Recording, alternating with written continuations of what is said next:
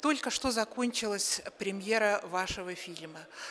Глубочайшее содержание его действительно передает мы можем прикоснуться к страницам истории, которые произошли много десятилетий назад. Но все те чувства, те раны, которые были нанесены, они, наверное, неизгладимые, они остаются в сердце не только каждого армянина, живущего в, раз, в разных странах мира, которые вот после событий геноцида в Османской империи э, рассеялись действительно по всему миру.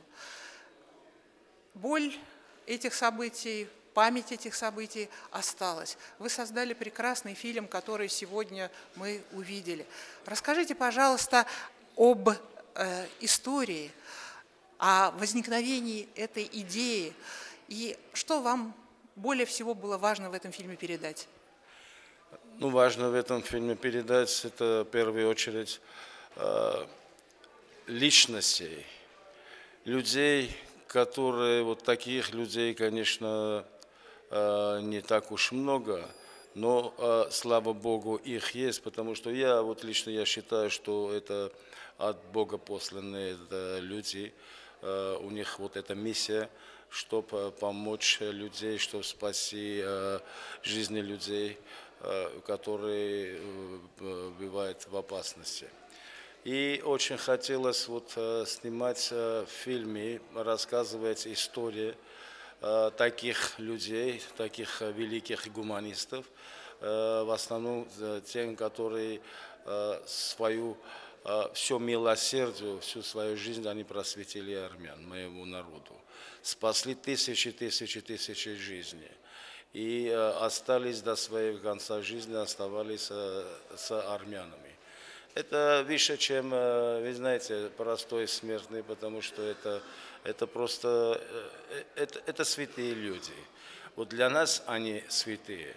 И их достаточно есть у нас в истории – и э, вот мы собираемся продолжать вот этот цикл и снимать еще и э, о других э, таких же фильме. А Хедвиг Бюль, эстонка Хедвиг Бюль, вы знаете, есть еще очень много материалов, которые, к сожалению, мы не могли включить. Вот этот фильм связан с хронометражем ограниченный. Поэтому мы должны снимать, мы должны уже создать э, короткие фильмы документальные. Ну, как известно, вы собираетесь телевизионную версию этого сделать? Телевизионную версию, и фильм будет, наверное, около от 26 до 34 минуты. И очень многие еще и материалы, то, что мы отсняли, и не включили, это все эти материалы, они будут э, представлены в этом фильме. Есть очень еще потрясающие такие мистические, такие, такие невероятные истории, такие невероятные вот действия Хедвиг Бюля, что это обязательно надо, чтобы все люди знали. Это не только... Вы знаете, вот недавно была премьера Paramount Pictures в Голливуде. И был приглашен, значит, консул из Норвегии, это самое, и Эстония. И, по-моему, эстонский э, представитель, консул, признался в интервью, что он до сих пор не знал, до этого просмотра фильма, не знал, что у них есть такая соотечественница, которая вот э, такой героизм проявила. И очень многие тоже не знали.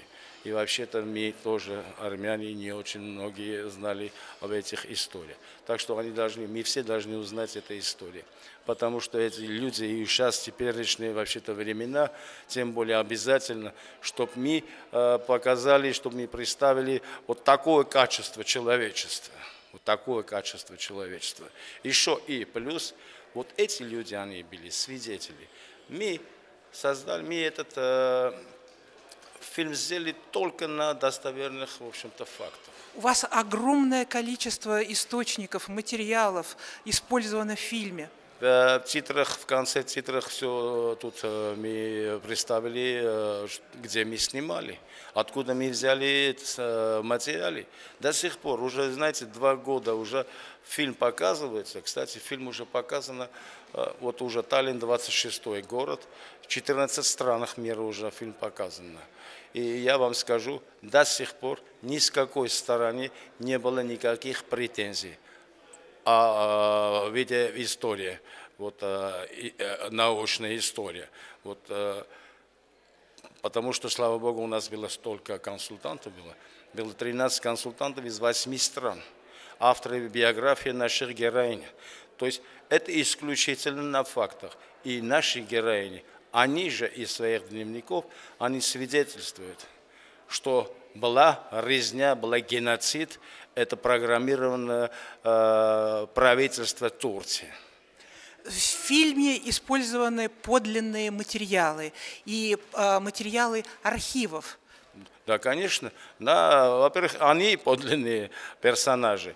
И э, все это подлинные архивы, потому что мы снимали в королевских э, э библиотеках, на национальных государственных архивах, миссионерских архивах. Нам э, материалы предоставили еще и консультанты, и в музее, где мы еще и снимали, везде мы это снимали. Все это достоверно. То есть еще пусть, пусть узнают Пусть узнает Хедвиг Бюле еще и в Эстонии. Пусть знает, что какая это самая великого человека этот народ дал человечеству. Еще и пусть узнает о ее свидетельствах. Пусть еще и наши друзья эстонцы, вот как сегодня вот выступил э, святой отец, да, и после этого фильма признался, сам начал говорить, что надо, надо уже начинать, чтобы э, эстонское правительство тоже думало поменять свою политику, принимать, признать исторические факты. Потому что это не только для армян, вы знаете.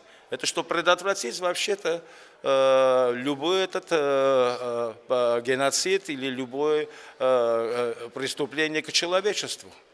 Если посудили, извиняюсь, да, достойным образом – не было бы и Холокоста. Потом не было бы еще и Руанда, Камбоджи, не было бы.